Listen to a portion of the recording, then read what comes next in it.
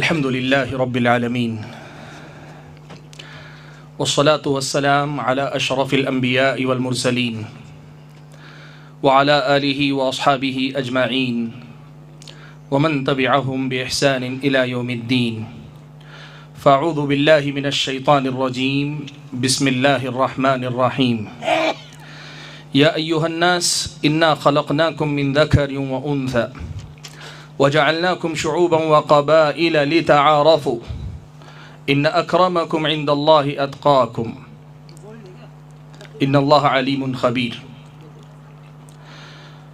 मोहतरम सदर इजलास मुअज़्ज़ज़ उलमाए कराम अपनाए कदीम मुझे आप हजरात और बुज़ुर्गों के सामने बरदरान वतन, यानी गैर मुस्लिमों से ताल्लुक़ात के हवाले से कुछ बातें रखनी हैं। अल्लाह तबारक ताली ने इंसान को माशरत पसंद बनाया है। इस हवाले से यहाँ इस समाज में जीने वाले हर इंसान का दूसरे इंसान से रिश्ता और ताल्लुक़, उसकी एक बुनियादी ज़रूरत है। इंसान ताल्लुक़ात का मोहताज है। बग़ैर ताल्लुक़ात के, उसकी दुनियावी ज़िंदगी के मसाइल भी आगे नहीं बढ़ सकते और बग़ैर ताल्लुक़ात के वह अपने दीनी तकाज़ों को भी पूरा नहीं कर सकता। इंसान को समाज से काट देना या समाज से अलग कर देना, ये दरअसल इंसान को दी जाने वाली एक बहुत बड़ी सज़ा है। इसीलिए आप हजरात इस बात से बखूबी वाकिफ़ हैं कि सज़ाओं में एक सज़ा कैद तन्हाई भी हुआ करती। है जिसमें एक इंसान को इंसानी समाज ही से नहीं, बल्कि इंसानों ही से अलग करके एक कमरे में तनहा रख दिया जाता है। और ये ख़ुद अपने आप में एक बहुत बड़ी नफसियाती सज़ा होती है, जो किसी भी जिस्मानी सज़ा से ज़्यादा सख्त होती है। इस एतबार से इंसान का इस दुनिया के अंदर साहिब ताल्लुक़ात होना एक फ़ितरी अम्र है। और ख़ास तौर पर जब हम इसे इंसानी ज़रूरतों से आगे ले जाकर, इंसान की दीनी ज़रूरतों के हवाले से बात करें तो यहाँ ताल्लुक़ात वाला बनकर ही इंसान पैदा होता है। वो पैदा होता है तो पैदाइश के साथ ही उसके ताल्लुक़ात, खूनी रिश्ते के हवाले से जुड़ जाते हैं। फिर वो अपनी मर्ज़ी से बहुत सारे ताल्लुक़ात शादी ब्याह के हवाले से कायम करता है। फिर इस दुनिया में ख़रीद फ़रोख के एतबार से मामलात के लिए दुनिया वालों से रबता रबता कायम करना, ताल्लुक़ जोड़ना उसकी ज़रूरत है। एक समाज बस्ती में रहते हुए पड़ोस में, आपस में मिलने जुलने वाले लोगों से ताल्लुक़ात भी उसकी एक समाजी ज़रूरत है। इस एतबार से अगर आप देखें तो इस मुल्क में जहाँ की एक बड़ी आबादी गैर मुस्लिम है, बल्कि अक्सरियत यहाँ की गैर मुस्लिम आबादी है। यहाँ रहते हुए यहाँ की गैर मुस्लिम आबादी से ताल्लुक़ात रखना एक इंसान की बुनियादी फितरी ज़रूरत भी है, उसकी समाजी ज़रूरत भी है, उसकी दीनी ज़रूरत भी है। ख़ास तौर पर मौजूदा हालात का हम और आप जायज़ा लेकर देखें तो समाज में एक दूसरे को समझने के लिए ताल्लुकात ज़रूरी हैं। अगर मैं आपको समझकर आपकी तरफ़ से मुतमिन न हुआ, मैं हमेशा आपकी तरफ़ से खौफ की हालत में ज़िंदगी गुजारूँगा। आप अगर मुझसे ताल्लुकात कायम करके मुझे ना समझें, आप मेरी तरफ़ से हमेशा खदशों का शिकार होकर ज़िंदगी गुजारेंगे। ये पुरमन मुआशरे के लिए, समाज के मुख्तलिफ़ अफराद के दरमियान बाहमी ताल्लुकात इस समाज की बुनियादी ज़रूरतों में से एक ज़रूरत है। लेकिन जब मामला सिर्फ़ समाजी ज़रूरत से आगे बढ़कर जब इस मुकाम तक पहुँच जाए कि आपके बारे में समाज में बाज़ लोग गलत बयानी करें, आपके बारे में झूठ कहें, आपके बारे में गलत बातें फैलाएँ और आपके बारे में लोग गलत तस्वुर कायम कर लें तो फिर आपकी ये ज़िम्मेदारी और ज़्यादा अहम हो जाती है, बढ़ जाती है कि आप अपने बारे में, अपने ताल्लुकात के ज़रिए सबूत दें कि आप कौन हैं और आपके बारे में कहा गया झूठ कितना बड़ा झूठ है। मौजूदा हालात में हम और आप जिस समाज में जी रहे हैं, मुल्क में आप ये बात अच्छी तरह से जानते हैं। मुसलमानों के ताल्लुक से, इस्लामी तालीमात के हवाले से, इस मुल्क में इस्लामी तारीख़ या मुस्लिम तारीख़ के हवाले से, इस कदर झूठ बोला गया, बोला जा रहा है और इसको बाकायदा सपोर्ट किया जा रहा है, उसे स्टेज दिया जा रहा है, उसे चैनल दिए जा रहे हैं कि इस वक्त मुसलमानों को जिन जिहात जिन जिहातों में काम करने की ज़रूरत है, उनमें से एक बड़ा अहम मामला गैर मुस्लिमों से ताल्लुक़ बहाल करके। सबसे पहले तो अपने बारे में गलत फहमियों का इजाला करना है। दूसरे नंबर पर हमें अपने वजूद के सिलसिले में ये मनवाना है कि हम इस मुल्क के लिए, इस समाज के लिए कितने अहम हैं, हम किस कदर मुफीद हैं, हमसे इस समाज का कितना खैर जुड़ा हुआ है। और इससे आगे बढ़कर ये हमारी और आपकी ज़िम्मेदारी बनती है कि हम इस्लाम के तारुफ के लिए, इस्लाम के पैगाम को इंसानियत तक पहुँचाने के लिए बेहतर ताल्लुक़ कायम करने की तरफ़ तवज्जो दें।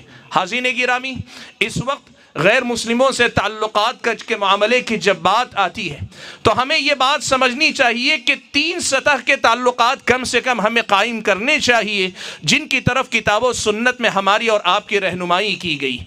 मैं मुख्तसर सिर्फ़ एक एक मिसाल के ज़रिए बात को रखना चाहूँगा। सबसे पहला ताल्लुक वहदत इंसानी का ताल्लुक है कि हम बनी आदम हैं। इंसान होने के नाते हम एक एक इंसान, एक मर्द औरत की औलाद हैं। या अयुहन्नस इन्ना खलकनाकुम मिन ज़करिन व उनसा व क़बाइल लितआरफू ये जो बुनियाद है कि आपसी तारुफ हो, आपसी तालमेल हो, आपसी ताल्लुकात हो, समाजी ताना बाना मज़बूत हो, एक समाज में रहने वाले एक दूसरे को जानते हो, पहचानते हो, इस सतह पर सबसे पहले हम और आपको ताल्लुकात कायम करने की ज़रूरत है और ये ज़रूरत हमारी समाजी ज़रूरत भी है, दीनी ज़रूरत भी है। दूसरे नंबर पर इससे आगे बढ़कर, गैर मुस्लिमों में से ऐसे अफराद से ताल्लुक़ कायम करने की ज़रूरत है, जो किसी भी मुश्किल मरहले में इंसाफ की खातिर इंसाफ के तकाजे की खातिर आपके साथ खड़े हों। इंसाफ की खातिर आपका साथ दें। किसी का हक मारने के लिए नहीं, आपका हमारा हक बचाने के लिए वो हमारे साथ खड़े हों। ऐसे अफराद पर नज़र रख कर उनसे ताल्लुक़ कायम करना ये हमारी ज़िम्मेदारी है। और ये हमें रहनुमाई मिलती है। प्यारे नबी सल्लल्लाहु अलैहि वसल्लम की उस सुन्नत से, जब आप सल्लल्लाहु अलैहि वसल्लम ने मुतइम इब्न आदि से ताल्लुक़ उस्तवार किया आप मक्का छोड़कर ताइफ में दावत व तबलीग के लिए गए। उस दौर का जो रिवाज था, उस रिवाज के मुताबिक आप सल्लल्लाहु अलैहि वसल्लम ने गोया समाज से या मक्का की आबादी से एक तरह की आपने बगावत कर ली थी या ताल्लुक़ कता कर लिया था, लोगों ने यही समझा था। अब दोबारा वापस मक्का में दाखिल होने के लिए, आपकी जान की अमान के लिए किसी मक्के वाले के सहारे की ज़रूरत थी। अल्लाह के नबी सल्लल्लाहु अलैहि वसल्लम ने पहले ही से नज़र में रखा था कि कौन इंसाफ की खातिर मेरे साथ खड़े होगा। आप सल्लल्लाहु अलैहि वसल्लम ने मुतम इबन अदी को कहला भेजा, मैं तुम्हारे जीवार में, तुम्हारी पनाह में मक्का में दाखिल होना चाहता हूँ। मुतम इबन अदी अपने भाइयों और अपनी औलाद के साथ आया और आकर उसने अल्लाह के नबी सल्लल्लाहु अलैहि वसल्लम को मक्के में दाखिल किया और काबतुल्लाह के पास खड़े होकर ऐलान किया कि मोहम्मद को हाथ लगाना, मुझे हाथ लगाना है, इसलिए ख़बरदार कोई उनको तकलीफ़ ना पहुँचाए। अल्लाह के नबी की सुन्नत से यह रहनुमाई मिलती है कि हमें गैर मुस्लिमों में इस दर्जे के भी लोगों को तलाश करने की ज़रूरत है। और तीसरा एक और मुकाम है जिसे हम और आप आम तौर पर नज़रअंदाज करते हैं। अबू तालिब से अल्लाह के नबी सल्लल्लाहु अलैहि वसल्लम का रिश्ता, हम एक चचा का रिश्ता समझते हैं, यकीनन चचा का रिश्ता। लेकिन अगर आप उसे इस नज़र से देखें कि वो एक गैर मुस्लिम थे और अल्लाह के नबी सल्लल्लाहु अलैहि वसल्लम ने अबू तालिब को न सिर्फ़ दोस्त बनाया, अबू तालिब ऐसे आदमी थे जो खुद भी आपके मुहाफिज थे, बल्कि समाज के बहुत सारे शरपसंदों को वो दबा सकते थे, रोक सकते थे, मना कर सकते थे। अल्लाह के नबी ने समाज के ऐसे फ़र्द को भी अपने साथ रखा, जो खुद ही नहीं, बल्कि समाज के इंसाफ पसंद तबके ही को नहीं, शर पसंद तबके को दबा कर भी आपका साथ दे सकता है। अल्लाह के नबी वसल्लम और कुरान मजीद की तालीमत की रोशनी में, गैर मुस्लिमों से ताल्लुक़ के ये तीनों दर्जे, हमारी और आपकी ज़रूरत हैं, हमारी समाजी ज़रूरत हैं, हमारी माशरती ज़रूरत हैं, हमारी दीनी ज़रूरत हैं। और जैसे मैंने कहा ना, कि अपने बारे में दिफा के लिए भी, अपने सही तार मारूफ के लिए भी और उन लोगों की अमानत उन तक पहुँचाने के लिए भी इन तमाम किस्म के ताल्लुक गैर मुस्लिमों से कायम करने की हम और आपको ज़रूरत है। हाजिन गिरामी, इस मसले में एक बात बड़ी अहम है जिसे हमें याद रखना चाहिए। और वो बात यह है कि जब गैर मुस्लिमों से ताल्लुक़ की बात आती है, ये बात इसलिए आगे नहीं बढ़ पाती कि आम तौर पर इसमें अफरात तफरीद का लोग शिकार हो जाते हैं। तफरीत ये होती है कि बसा अवकात बाज़ लोग कुरान मजीद की ये आयत कि ला तजिद कौमिन बिल्लाहिल आखिर युवादून मन हद्दल्लाह व रसूलह, कि जो ईमान वाले होते हैं, वो अल्लाह के दुश्मनों से दोस्तियाँ निभाने वाले नहीं हुआ करते। इस आयत का मफहूम, कुछ लोग ये समझ बैठते हैं कि किसी भी गैर मुस्लिम से किसी भी किस्म का ताल्लुक़ रखना इस्लामी शरीयत की नज़र में नाजायज़ और हराम है।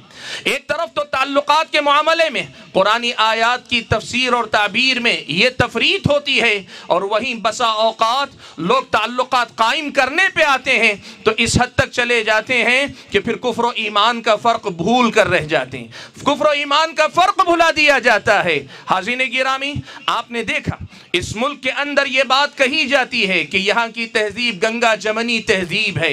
इस तहजीब का मतलब लोग जो समझाते हैं वो क्या है? वो वो, वो चीज़ यही है कि मैं आप मेरी इबादत में शरीक हो, मैं आपकी इबादत में शरीक होगा आप मेरी मस्जिद में नमाज़ में शरीक हो, मैं आपकी पूजा में शरीक हो सकता हूँ। आप मेरी ईद में शरीक हो, मैं आपकी ईद में शरीक हो सकता हूँ। ने गिरामी ये इफरात का मुकाम है। ये अफराद का मुकाम है ताल्लुक़ के बाब में। अल्लाह का फजल करम है कि इस्लामी शरीयत इस मामले में बड़ी वाज तालीमत रखती है। और उसकी वाज तालीमत क्या हैं? सुरह मुमतहिना की तफसीर आप पढ़ लें। तो एक तरफ़ कुफ़ार और कुफर से बारात की तफसीलात भी आपको मिल जाएँगी। और दूसरी तरफ़ गैर मुस्लिमों से कुफ़ार से ताल्लुक़ और रबते की तफसीलात और उसकी हदबंदियाँ भी आपको मिल जाएँगी। और अहल इल्म ने उसे समझाने के लिए जाबिता ये रखा है। कहा है कि आदमी को याद रखना चाहिए कि एक दर्जा होता है मुदाहनत का। जिसे इस्लाम ने हराम करार दिया है। और एक दर्जा होता है मुदारात, यानी रवादारी का, जिसको इख्तियार करने का इस्लाम ने हुक्म दिया है। हमारी और आपकी असल ज़िम्मेदारी ये है कि ताल्लुक़ के बाब में मुदाहनत और मुदारात, यानी रवादारी के रवादारी के जबते को अच्छी तरह से समझें। अगर हम ये समझेंगे ना तो हमारे ताल्लुकात यकीन माने खुद ही अपने आप में एक दावत बन जाएँगे। मुदाहनत क्या है? रवादारी क्या है? अभी मुझसे पहले मौलाना अहमद सिराज साहब कासमी हफिज़ल्ला ने मुदारात और मुदाहनत, यानी रवादारी और मुदाहनत के हवाले से बात की। मैं ये बात रवाज तौर पर रखना चाहूँगा कि अहल इल्म ने मुदाहनत और रवादारी का जबिता दिया है। मुदाहनत क्या है? कहा, बदलुद्दीन लिद दुनिया लोगों से दुनिया अच्छी रखने के लिए अपने दीन की कुर्बानी देना ये मुदाहनत है। लोगों से बेहतर ताल्लुकात के लिए दीन से तनाजुल इख्तियार करना यह मुदाहनत है।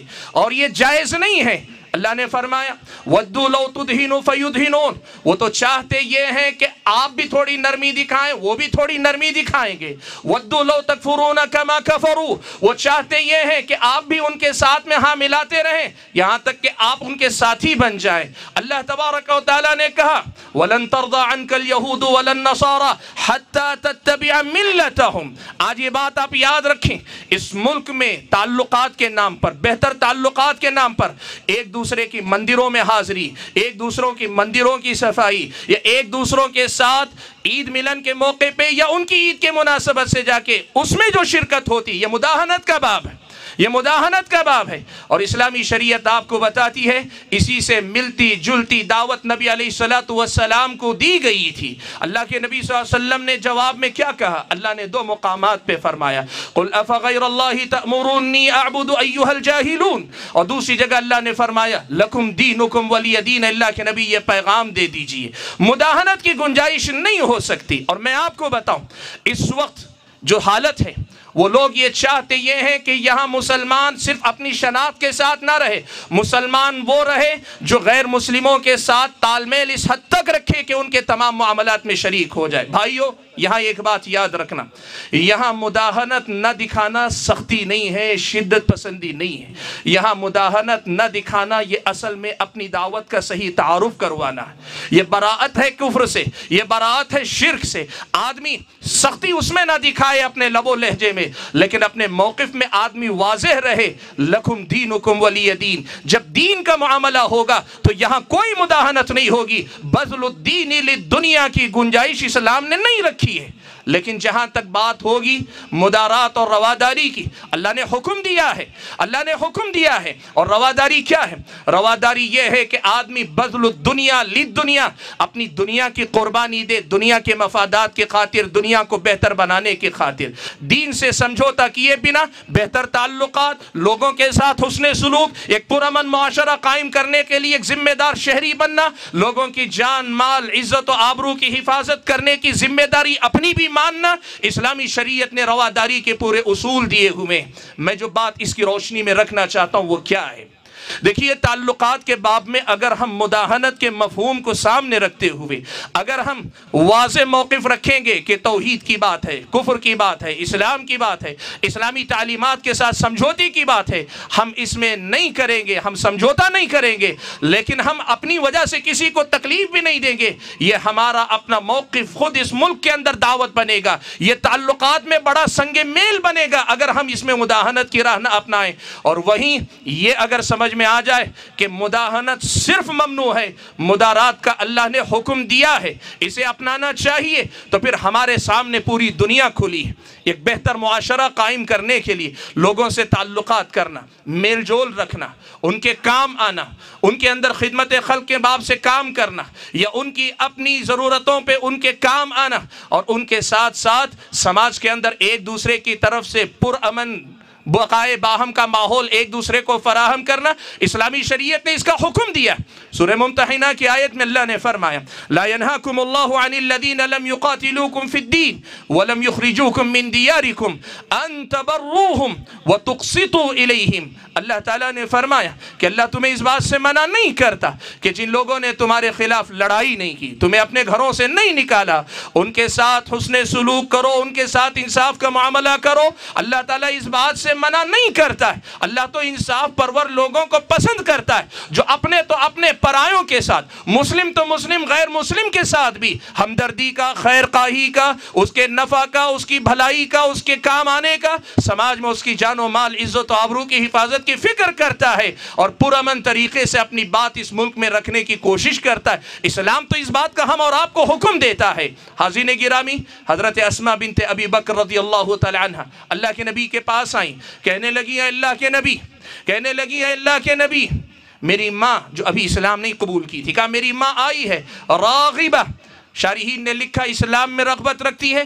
बाद ने लिखा, नहीं, मुझसे उसे कुछ उम्मीद है कि बहसीत माँ शायद वो मुझसे बेहतर सलूक की उम्मीद लेकर आई है। अल्लाह के नबी, क्या मैं अपनी इस गैर मुस्लिम माँ के साथ बेहतर सलूक करूँ? अल्लाह के नबी ने कहा, सिली उम्म की अपनी माँ के साथ बेहतर सलूक करो। अल्लाह के नबी ने हुक्म दिया है। हाजिन गिरामी, मुदाहनत और मुदारात के इस वाज फ़र्क के साथ गैर मुस्लिमों से बेहतर ताल्लुक़ का दायरा बहुत वसी है। बहुत वसी है। हमें आगे बढ़कर इस हद तक ताल्लुकात के ज़रिए एक बेहतर पैगाम देने की ज़रूरत है। जहाँ वो हमारे बारे में फैलाई जा रही गलत फहमियों को भी समझ जाएँ।